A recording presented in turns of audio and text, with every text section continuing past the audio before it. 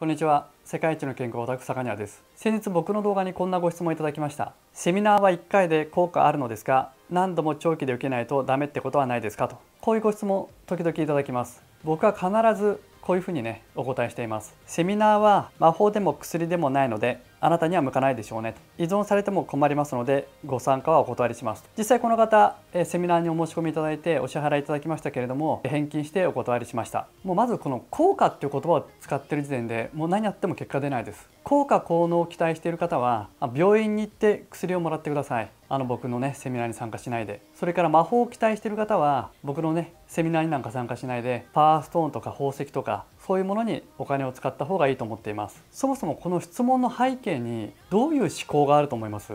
他人任せで他力本願です。自分で自分を変えて自分の人生を変えるっていう感覚が全くないんですね。僕がねそうだったんですよ。セミナーに参加すれば稼げますか？とか森師匠をすれば運気上がりますか？とかパワーストーンや宝石を身につければ夢が叶いますか？とかこの薬飲めば病気治りますか？とかこの質問っていうのは学業の神様にお願いすれば志望の学校に入れますか？って言ってるのと同じレベルなんですね。入れるわけねえだろって話なんですよ。実際に僕の高校3年生の時の話をしたいんですけれどもうっかり進学校に入っちゃって落ちこぼれて学校ほとんど行ってなかったんですね。高校3年の受験期にその時担任の先生が今から名前を呼ぶやつは単位が足りないから教室に残れって言うんですね。金髪茶髪ピアスの不良の連中が名前呼ばれるわけですね。えーと俺卒業できねえのかよみたいな感じで言ってるわけですよ。で僕の名前呼ばれなかったんですね。で不良の連中が担任の先生折茂っていう先生だったんですけれども「おい折茂」と「俺たち名前呼ばれて魚屋が名前呼ばれないなんておかしいじゃねえかよ」って言ったんですね。ですから僕が涼しい顔して「俺とお前らとじゃな出来が違うんだよ」って言ったらですね担任が「坂にはお前は出席日数が足りないから職員室に来い」って言うんですね。もうびっくり仰天。まあそりゃそうなんですよ。ほとんど学校行ってなかったんですね。それにもかかわらず受験しようと思った時に地元の学業の神様菅原神社っていうところに合格祈願に行ったんです。今思うとよく親もお金出したなと思いますけれども自分の子供が学校にほとんど行かないのに学業の神様にお願いしたいから1万円くれって言ったら払います？名前が呼ばれて建物の中に入っていきます。そしてこう貸し込み貸し込みってやるわけですよね。で僕自分で言ったんですけれども本人が来てないうちがあるんですよ。で同じ高校の同級生の名前が呼ばれて見ると母親が来てたり父親が来たりするわけですね。なんだあいつらと。自分の合格祈願なのに自分で来てないのかと。受かる気あんのかなあいつらと。あいつら落ちたなみたいな。思ってたわけですね。どう思います？皆さん。実はこれ大間違いだったんです。もうね逆です逆。勉強頑張ってる受験生は家で予想問題集解いたり公開模試を受けに行ったりして忙しいわけですよ。僕みたいに勉強もしないでねパワープリンのやつが暇でプラプラしながら自分でのこのこ合格祈願に行くわけですね。受かるわけないんですよそれで。でも今回のご質問のようにセミナーに参加して効果あるんですがおそらく自分で他力本が他人任せっていう感覚がないと思います。で僕もそうだったんですね。でもセミナーに参加すれば稼げるとかこの薬飲めば治るとか森使用すれば運気が上がるとかよく考えてほしいんですけど自分で自分の人生を変えるっていう感覚がないんですよ。だからパワーストーンつけてみたり高い宝石つけてみたりしてで結果が出ないと何て言うと思います？ご利益がない。やぶ医者だ。詐欺だ。人のせいにします。こういう人って何やっても変わんないんですね。僕もそうでした。だから僕は最後借金負債3500万背負って寝たきりで水も飲めなくなったんです。ですから効果効能を期待するんであればもう病院に行って薬をもらった方がいいと思います。魔法を期待するのであればパワーストーンとかね宝石にお金使った方がいいと思いますよ。僕のセミナーなんか来なくて。これ意地悪で言ってるわけではなくて本当に変われないんですよそういう人って、まあ、そもそもねこういう質問をしている時っていうのは自分で他力本願で他人任せで自分で自分の人生を変える気がないっていう自覚もね僕もなかったんです。だからセミナージプシーになっていろんなとこちょこちょこちょこちょこ顔を出してお金払って結局何も変わらないんです。何度も長期で受けないとダメってことはないですか？って聞いてますけれどもそもそも僕のセミナーはちょこちょこちょこちょこ何度も受けられても困るんで1年以内の再受講っていうのはお断りしていますもう時々ね毎回毎回坂庭さんいいお話聞けましたまた来ます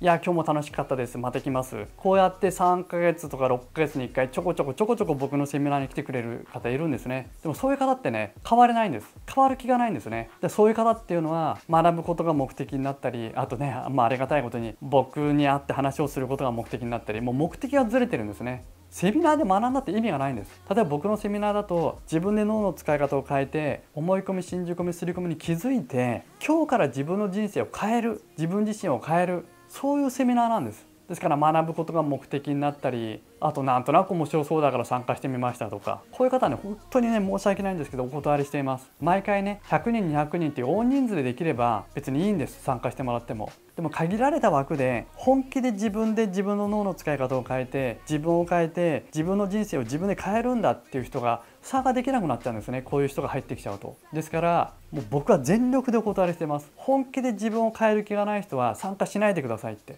いいんですこれで別に。なんだこの野郎と。せっかく参加しようと思ったのに、ね、上から目線でこの野郎って言われてもいいんです。別にあの上から目線で言ってるわけでもないんですよ。僕がそうだったから分かるんですよ。だこの質問をしたい気持ちもよく分かります。でもこういう質問をしている間っていうのは人生変わんないんですよ。で最後は人のせいにします。だから他力本願っていう自覚もないと思います。いやいや人に頼ってるつもりなんかないよと。ただ純粋にセミナー1回で効果があるのかと。繰り返し繰り返し参加しなきゃダメなのかと。でもこの背景には誰かが自分の人生を何とかしてくれるお金を払えば誰かが助けてくれると思ってるんですね。それが医者なのかコンサルタントなのか億万長者なのか分かんないですけれども。だからこうやって毎回毎回ちょこちょこちょこちょこいろんなところにまあ、ちょこちょこなんかドカドカだか分かんないですけどいろんなところにお金を使ってセミナージプシーになって健康オタクになってスピリチュアルオタクになって結局お金すってんてんで人生何も変わんないんですね。で最後寝たきりになって僕がそうだったんですよ。自分で自分の脳の使い方を変える。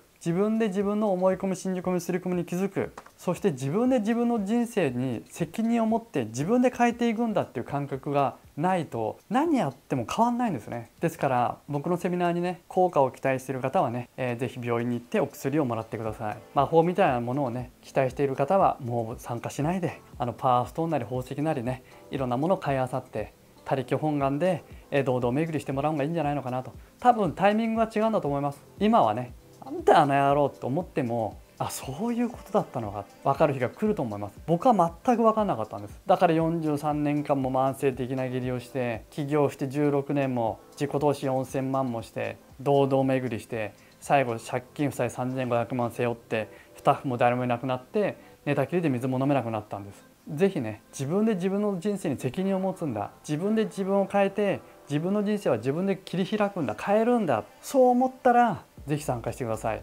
で僕は自分でこういう本をね出して脳の使い方を変えると人生変わるよと。健康だけじゃなくてビジネスや人間関係も全部変わるよということをねお伝えしています。この動画の下に試し読みできるリンクを貼っておきますので興味があったらまずはねそちらを読んでみてください。ではまた別の動画でお会いしましょう。バイバイ。